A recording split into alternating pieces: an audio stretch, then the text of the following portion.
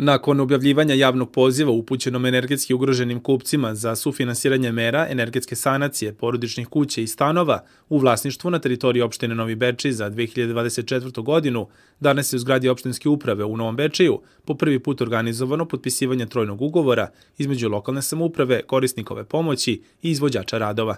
Prema rečima Žive Netnice, načelnika Odeljenja za inspekcijske službe u opštinskoj upravi u Novom Bečiju i predsednika Komisije za sufinansiranje energetske sanacije, za ove svrhe izdvojene 2 miliona dinara, a ovom prilikom potpisani su ugovori sa tri porodice koji imaju status energetski ugroženog kupca. Danas smo imali čas da prvi put e, potpišemo ugovore e, za energetsku sanaciju objekata energetski ugroženih kupaca.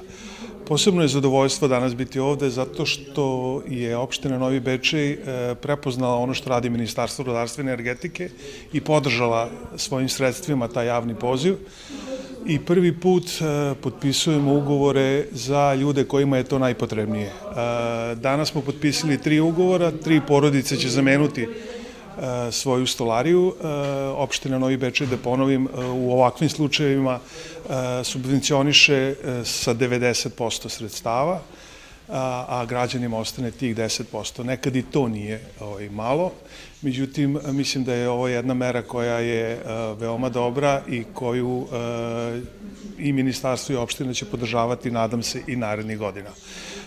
Nismo potrošili sva sredstva, opredeljeno je 2 miliona dinara, tako da pozivamo sve one koji imaju status energetski ugroženog kupca da se jave i da uzmu učešće u ovom javnom pozivu.